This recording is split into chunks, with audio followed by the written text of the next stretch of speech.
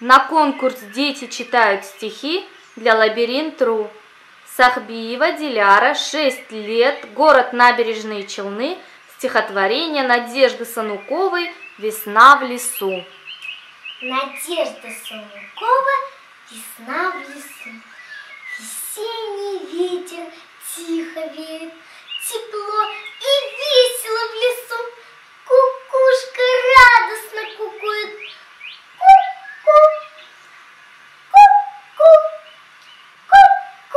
Медведь вон вылез из берлоги.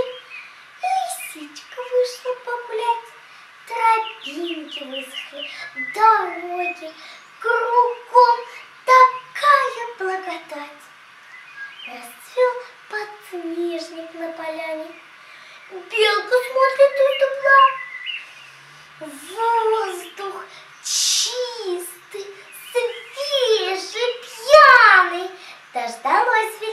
свежий,